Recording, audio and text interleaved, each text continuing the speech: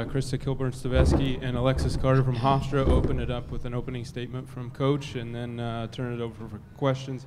Ask that you raise your hand to talk into the mic. Go ahead, Coach. Thank you. Ah, thank you. Uh, just uh, again, another tough battle against Drexel, and we certainly fell short. I've got to give them the utmost credit, uh, being the aggressor from the start, and I don't think we answered that, and then tried to battle back. Um, did a good job in the first half, and then struggled, you know, the same type of uh, equation in the second half. So kudos to Drexel being the competitor, and it really came hard at us today. Open it up for questions now. Coach, r- rough day shooting for Annie Payton and Anma Yuku. What did the Drexel defense do to shut those two seniors down? You know, obviously they uh, had several uh, games of footage to uh, try to use their their zone. Um, there was times there were three or four defenders in the paint trying to clog Annie's penetration. Did a good job. Um, and did a good job of closing our passing angles for us to even try to find someone on the opposite. So that's how the game started. That was their game plan. Uh, opened up Alexis, who really stepped up. That's what a mark of a great player uh, on a team, on a great team, where it opens up someone an opportunity that steps up and tries to carry folks today. And I felt like she did. And you know, we saw that obviously early. Um, they did a good job of keeping the ball uh, out in the paint. Like we were having a tough time, you know, getting it's like an amoeba with four covering, you know, four in the paint. Uh, so it just really, um, you know, took our took the wind out of our sail. Alexis, with those two, Annie and AO, what have you learned from most from them from the last two years? Um, from the jump, I mean, Annie just learned. I mean, Annie taught me that you just have to be aggressive. You got to keep going, keep going, keep going. No matter how hard things get, you just got to keep going and fight through. Um, AO taught me basically to lead by example, and I mean, I guess that showed today. That's something I'll carry with me throughout the rest of my two years. Coach, what do you see from the freshmen today in their first conference game? You know, going from seniors to freshmen.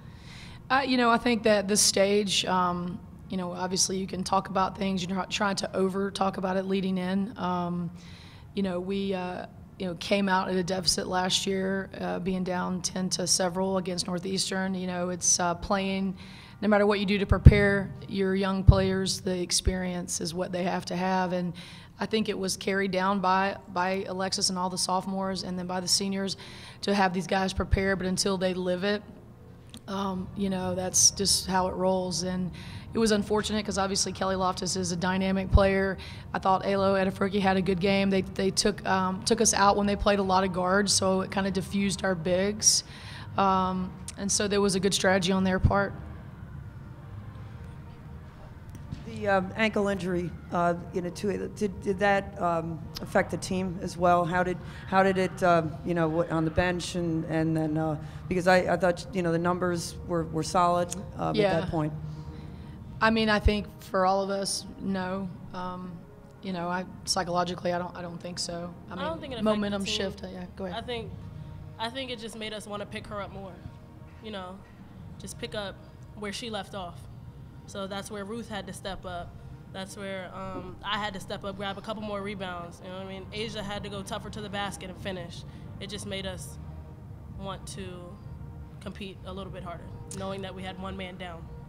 I think indirectly that gave them an advantage of playing the guards, and they ended up being in their favor. So if you want to look at it that way, if she, because we've, you know, I can go 12 years of Drexel experience, and they've always diffused your bigs. You've always had to play small ball. This year in both games, we've been able to play big ball against them, and it's been to our advantage. So indirectly, that might have put played their hand to play the guards, and it ended up being a positive thing for them tonight. Coach, you knew that the sophomore class this year had to take such a big leap uh, in the experience and the leadership. What have you seen from them the entire season as you look back now?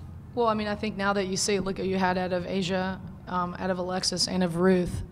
Um, you know, you could have a, a three-headed monster right here for next season um, if you know they realize what they can accomplish. They have a lot of chemistry on the floor.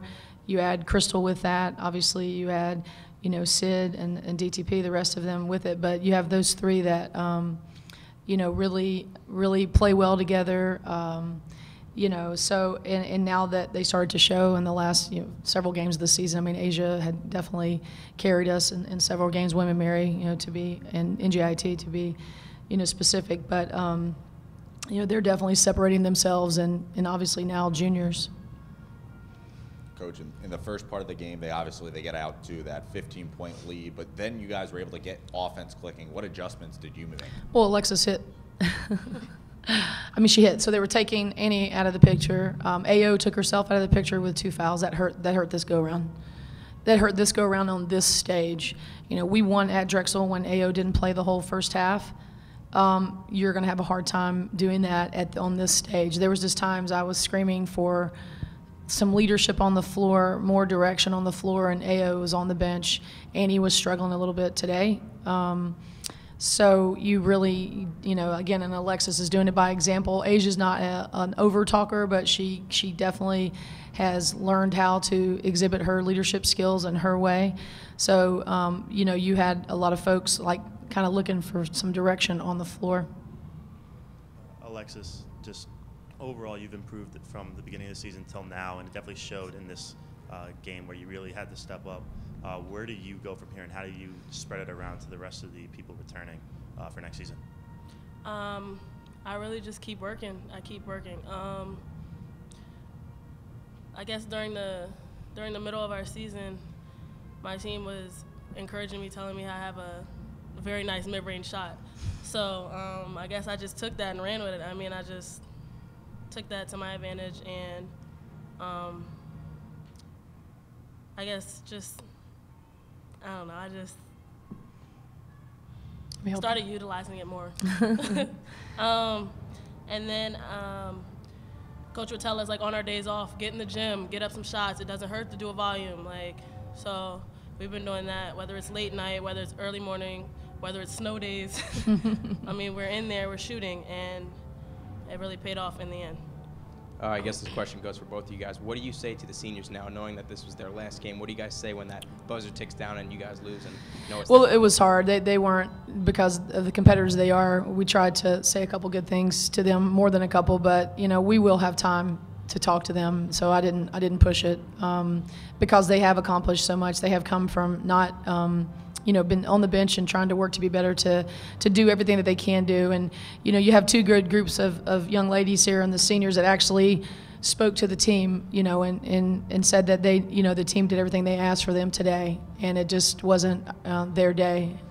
And uh, I thought that was a commend to those seniors to step up and just say, hey, you know, don't beat yourself up, and you know, and and just got to keep working.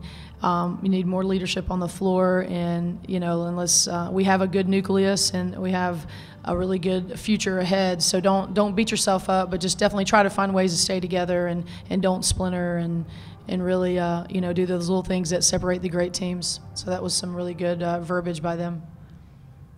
All right. Thank you.